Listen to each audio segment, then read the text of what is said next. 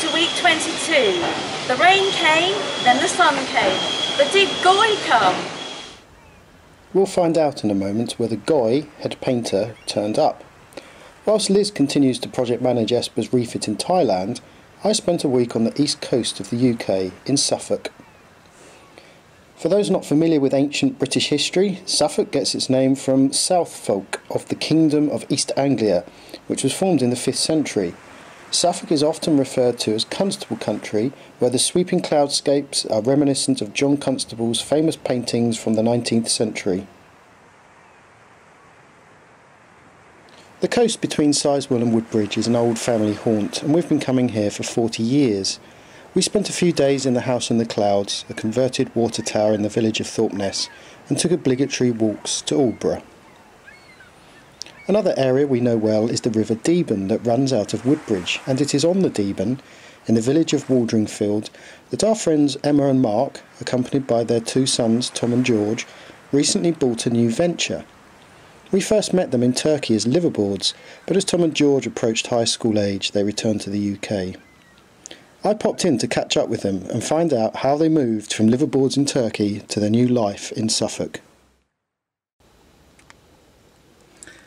Now I'm here in a little village called Waldringfield, which is just south of Suffolk. And last week someone posted a comment up on our website that they had just bought the boatyard here. So, on a whim, I thought I'd come down and see if I can find our old friends Mark and Emma of Sailing Yacht Cowrie. I don't know if they're in today, but uh, I figured we'd just uh, pay them a surprise visit. So let's go and see if we can find them.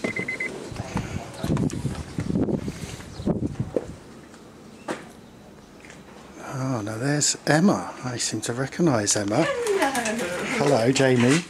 How are you? Hi. How are you? Good to see you. Little surprise visit. yeah. I've got you on video as well. you? Yeah. Not, not, not my oh, best she's side, obviously. Oh, I don't know about that. How are you? Good, Yeah. So come give us a tour. What's going on? How did this all happen? How did this all? Do you know, as I wrote to you, I thought, did I actually? Did we ever get round to telling you before the boatyard? no, probably not. Just in a comment on our website. Yeah, no. How did it happen? It happened because when we were around the med, we were like, what would your ideal job be? And Mark said it would be to run a boatyard. And then this came up for sale, so we bought it.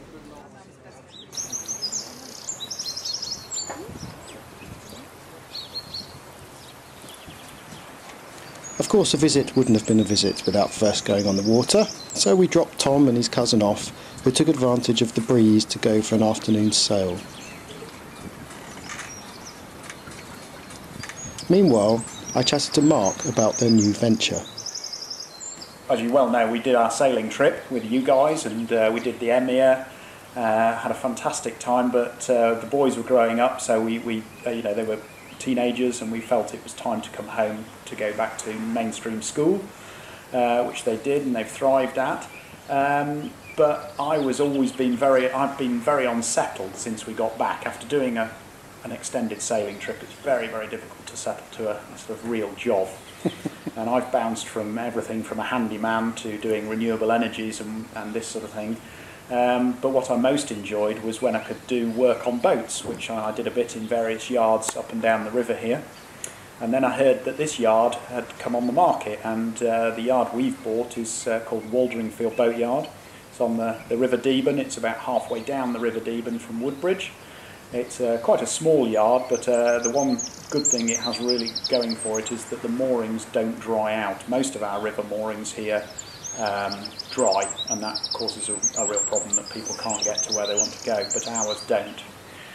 So, uh, and the, the previous owner basically had decided he was going to retire at, a, at 60, I think, and from 55 onwards he basically ran the yard down. So we, we bought a yard that really wasn't uh, at its, its peak, um, but quite quickly we found that people want to use the facilities that we offer, and uh, we've managed to build it right back up, and here we are at Waldringfield Boatyard. So tell us about those facilities then. well, we've got three parts to the business really. Um, the first one would be the moorings. Uh, we lease the moorings off the uh, the Crown after the Crown Estates. We have 52 deep water river moorings, uh, and those are rented out to boats up to 36, 38 foot. Um, and they basically the season for those is from the 1st of April to the end of October. And um, when they come out of the, uh, the water in the winter, we lift them out uh, and we'll pressure wash them down, and then they'll be put in cradles for the winter in the, depending on the size, if they are over 26 foot, we'll put them in a cradle in the bottom yard here on the quay. If they're a little bit smaller than that, we'll take them up to the top yard. But we essentially lift about 80 boats in the winter and store those. So that's the second part of the business. But during the summer months, we also run a, a trip boat, uh, which uh, takes uh, tourists uh, from here at Waldringfield all the way to Felixstowe Ferry, which is about seven miles downstream. And um, we last year I think we took 3,000 tourists, and this year we'll probably be doing nearer 4,000. Uh, and that's a great little business that just keeps us really the cash flow ticking over in the summer. Uh, other sides to the business that we've sort of tried to develop is we're sitting here in, a, in an artist's studio, uh, belongs to Claudia Mayat, and uh, she's put all her artwork on the walls, and we've opened it as a little gift shop, so it sort of goes alongside with the trip boat. When the when the trippers come off the boat, they'll come in the shop here, um, and they've got ice cream and they've got gifts and what have you. So that's a nice little sideline to the business, which my wife Emma runs. Um, and the other thing we've, we've done is also we bought some sit on top kayaks. So it's a fantastic river to explore by kayak because you can get in all the creeks and, and up, uh, up all the little waterways. Um, so we hire out the kayaks, which is very popular at the weekend. We've got a pub uh, on, well, we've got a pub right next door, but we've also got a pub about two miles, three miles up, uh, downstream, sorry, uh, called the Ramsholt Arms, so that's easy kayaking distance. Uh, and if not, you can go the other way, right up into Woodbridge with a kayak. So that's Mm. very popular and becoming more so. So that, that's the business, really. Yeah, but uh, very nice way to live your life. You've got to admit that's a pretty good lifestyle, and if you can't live on the water, then the next best thing is to be next to the water.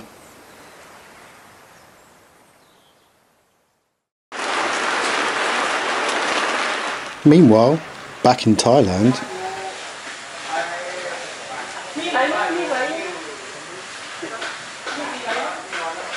Monday morning, and here's the boat. After her third gloss area.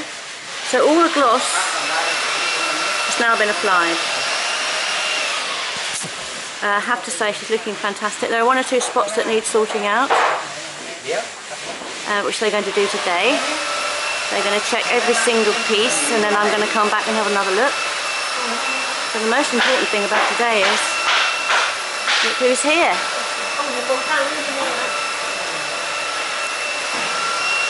And he's going to be here, he says, until the end, until all the painting's done, he's going to be here with us. So welcome back, Goy. As they mark off the deck, they're checking every single square centimetre of the paintwork so that they know what they need to do to make any adjustments and changes. They won't do anything until they've laid the non-skid surface. So once that's down, they'll then go round and do any buffing or repainting or touching up that might need doing. Since Goy's been away, he's not familiar with how the deck's looking, so he's taking extra special care as he goes round to familiarise himself with each piece of the deck.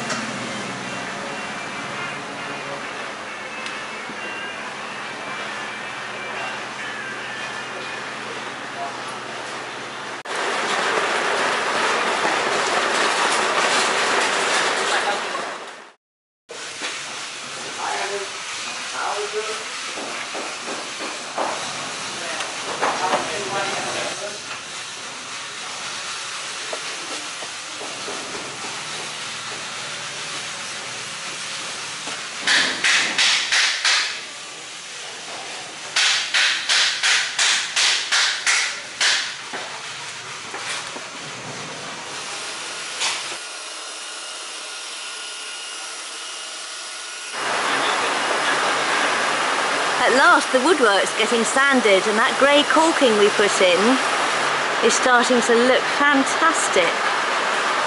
Of course one of the things I've realised as Ton was doing this is that we've still got this little hole, this little brass hole here that came with the boat when we bought it and it was where the table leg, the old table leg um, secured to the cockpit floor. Of course we don't need it now. So we're going to see if Master Pong can fill it some way without it showing too much.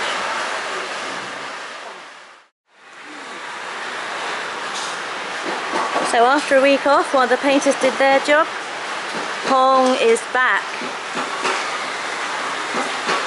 His job for today is he's going to mark out and he's going to cut out that laminate that we bought which is going to go in the in the head's floor and in the galley. A little easier to see it now. It's a lovely uh, slaty grey. It's actually called soapstone. It's really great to see the new worktop surface which is now in position in the galley.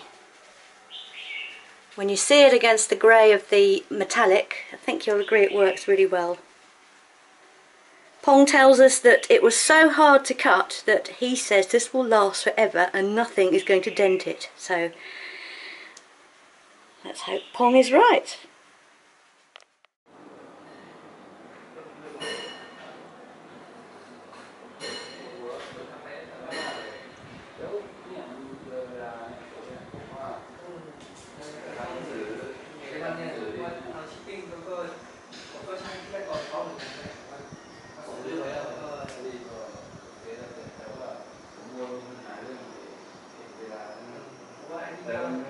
So we've just opened every single box and everything is there. Yeah? Yeah. So we're very happy.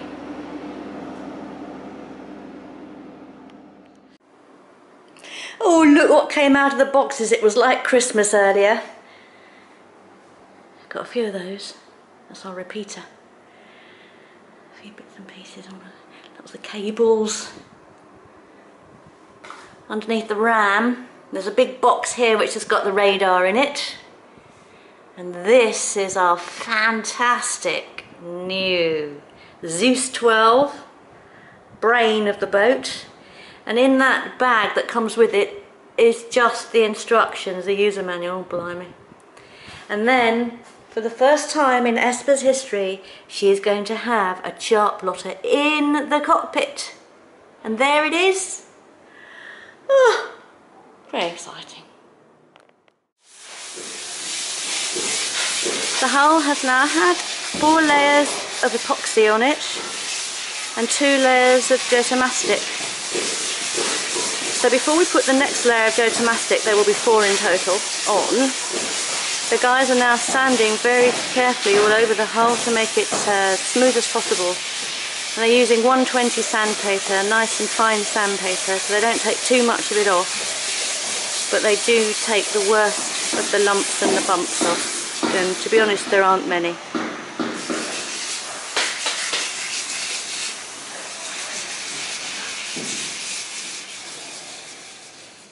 The hull has now had its fourth coat of Jotamastic, uh, which is yellow as you can see. First two coats were grey, last two coats were yellow. So today we're just uh, sanding this back till it's nice and smooth ready for perhaps one more coat of Jotamastic. We may just put one more on and then after that it'll be ready to uh, receive the anti-foul and that won't happen until closer to launch date.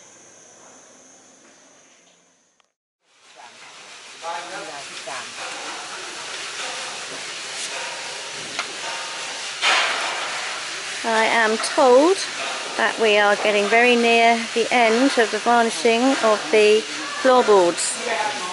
Everything's been done, just one layer left to do on the whole of the boat, apart from the cabin which needs two layers. They put a total of seven layers of varnish on, which they then sand back and reapply.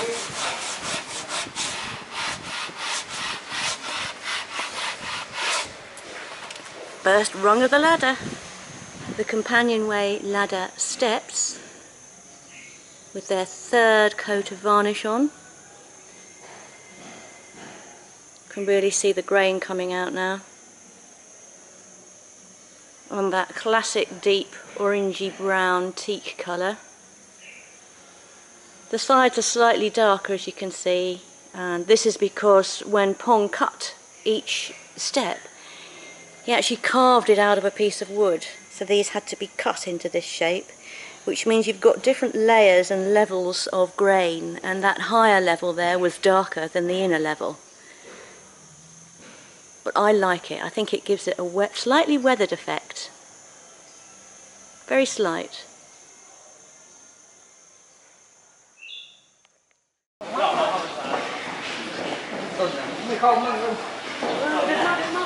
Satun is predominantly Muslim area, but we sometimes forget that this is actually a Buddhist country. And today is Buddha's Day. So over in this little corner of the yard, where they haul the boats in and out, they're going to make new and special offerings to Buddha for good luck for, for them and for all the boats that come here. So Buddha gets some very nice, sweet, brightly coloured cakes, a very bright pink drink, a very bright green drink,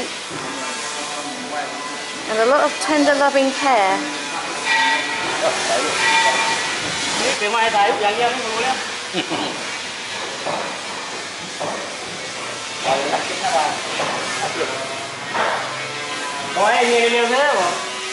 This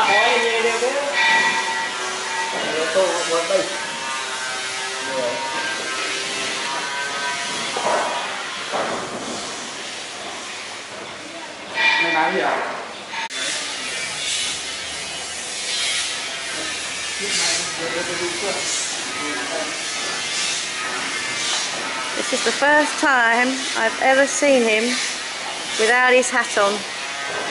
This is an extremely fit and hard-working young man who helps take the boats in and out on the cage. And he's taking this all very seriously under Un's supervision.